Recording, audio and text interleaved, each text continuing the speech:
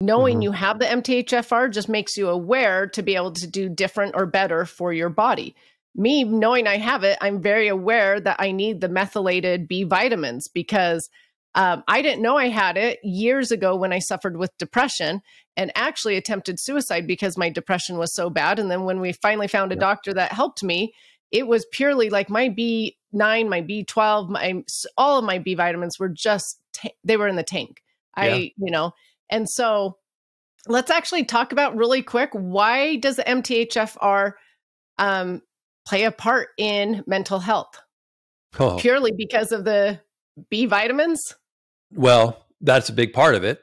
Yeah, I mean, remember the the job of the MTHFR enzyme, which is produced by the MTHFR gene, is to make methylfolate.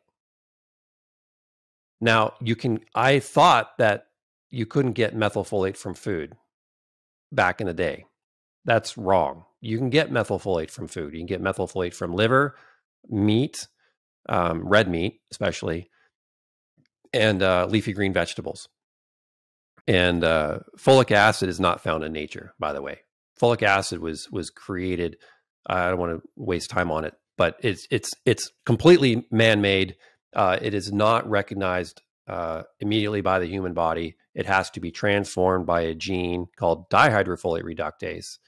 And so people will incorrectly state that I cannot take folic acid because I have an MTHFR gene variant. Humans are not designed to take folic acid, period, regardless of if having an MTHFR variant or not, because MTHFR gene are is down here about seven genes below where folic acid gets introduced in the folate uh, pathway. So dihydrofolate reductase enzyme is the primary gene that handles your folic acid. And the researchers looked at folic acid and the dihydrofolate reductase enzyme in mice. Mice have the ability to convert folic acid into dihydrofolate, which then can move down into methylfolate super easily. No problem. In humans, we're about 1% functional activity in our DHFR enzyme compared to mice. So, us doing uh, research on mice and directly equating that to human uh, is incorrect. And so all this folic acid is is in, in the in the diet is causing massive issues. And I have research papers on that. We're going to get to that too. But I want I wanted to say that real quick. Um, now, with MTHFR and mental illness, remember that if your methylation system is so important that it handles turning on and off genes, and you have 18 other thousand genes in the human body, and methylation turns them on and off. You don't have people doing their jobs all the time, their entire life that they're awake around the world. That would be very inefficient. They would die of exhaustion, they'd run out of resources. It's the same for your own genes. Your genes turn off when they're not needed, they turn on when they're needed. And so mm-hmm. most of your genes are always methylated. When your gene is methylated, it's turned off. It is not producing any enzyme. So hmm. most of the time, your MTHFR gene is methylated. It's not turned on unless it's needed to be turned on. That's to conserve resources. Otherwise, you'd be eating all day long. You would be uh, skin and bones because you'd just be running out of resources. Um, and so, when a stimulus is triggered to make more methylfolate, then that happens and it turns back off again. So with mental illness, if your methylation status, in your case, for example, you had low folate, you had uh, low B12, and then by result, you had high homocysteine, most likely. Mm-hmm. I did. Okay. So high homocysteine will shatter your ability to make neurotransmitters of any of well not any of any type it will shatter your ability to make dopamine serotonin, norepinephrine, and it will increase glutamate, which increases anxiety and destruction of your brain. It will increase histamine, which causes headaches, um, irritability, insomnia, like glutamate. Um, so you have these bad high levels of neurotransmitters and you have very low levels of the ones that help us with motivation, libido, healthy mood, memory, learning. Um, and uh, so then, yeah, you struggle. And then let's say you went to the doctor and you had dental work done and you were given laughing gas in that situation. And then let's say they prescribed you more folic acid instead of methylfolate and you weren't eating. I mean, you were you're a vegetarian, but you weren't a you weren't eating veggies. You were more of a carbitarian. Let's face it. Mm. A lot of vegetarians were carbitarians. Um, I was uh, I tried being a vegetarian for a while to see if my health, and I felt horrible, but I did it wrong. Um, I mean, Novak Djokovic is doing pretty good um, being a vegetarian. So, homocysteine really eliminates your body's ability to to make neurotransmitters and to process them and balance them. And why is that? Because high levels of homocysteine are associated with lower levels of methylfolate, which comes from the enzyme. And remember, you have methylfolate and methylcobalamin as a tag team duo. You need both. So if you're just supplementing with methylfolate and you have low amounts of methylcobalamin or low amounts of B12, then you could be still struggling with mental illness. And it keeps going let's say you have sufficient methylfolate and you have sufficient B12, but you're still struggling.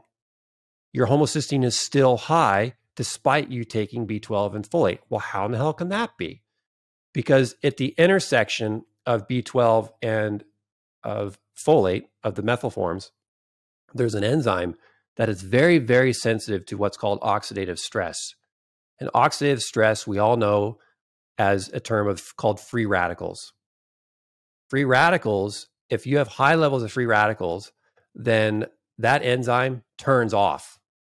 And so hmm. homocysteine levels are not recycled or lowered. It actually will be converting uh, homocysteine into glutathione, which is your body's primary antioxidant to get rid of these free radicals or oxidative stressors, which is a beautiful system, back by the way. Um, so if you're struggling with high homocysteine and if you tried, you know, methylfolate, you've tried methylcobalamin, they're not working. You've tried choline, you've tried betaine, still not working. You've tried B6, still not working. You tried zinc, still not working. You've got to add glutathione. You've got to add, you know, significant levels of glutathione as the S-acetyl form of glutathione is the most stable. Um, and biopterin is the compound that is not talked about by people. Biopterin is is what is a is called a cofactor. And so enzymes require cofactors. I'm surprised we haven't talked about this yet. So cofactors make the enzyme actually able to do the work. You have a car in your driveway, and if your car is an electric car, if there's no charge in the battery, it don't go. If you got a gas or diesel powered car, it's not going. So, eh, but they're fully functional, they're just not going. So if you have a fully functional MTHFR enzyme, no variants at all, you can have an MTHFR type uh, low activity if you have low levels of this cofactor. And a cofactor, again, makes the MTHFR enzyme perform. So if you're low in riboflavin, the MTHFR enzyme is compromised. It can't perform. And mm-hmm. so if you have an MTHFR 677 homozygous variant like yourself or compound like I do, or even if you don't have any MTHFR genetic variations, you've done genetic testing, you're like, God, I swore I would have the MTHFR gene variant. Mm-hmm. I've got all these symptoms. My homocysteine is sky high. Uh, I've got mood issues. I've got depression issues. I had recurrent miscarriages. Like, oh, yeah, I was put on laughing gas. I'm hypothyroid. I'm deficient in vitamin B2. Uh, I'm taking high dose folic acid. You created unknowingly having a very significant, like MTHFR uh, pseudo variation in your body because you got it dirty. That's the concept of dirty genes. The, the concept is simply you can have a genetic variation born, which increases your vulnerability to things, but you can also create your own vulnerability of your own MTHFR gene by adding these things that conventional medicine is telling you to do to take five milligrams of folic acid, you're hypothyroid, you're low in vitamin B2, uh, you're taking laughing gas, um, you're eating, you know, you're a vegetarian, you're not eating red meat, um, and you're not sub, you know, not supplementing with uh, folates and, and B12s that are high quality. Now you have an MTHFR gene variant worse than mine and Karalynne's because you know you've you've dirtied your MTHFR enzyme to the point where it can't function, even though you don't have a gene variant.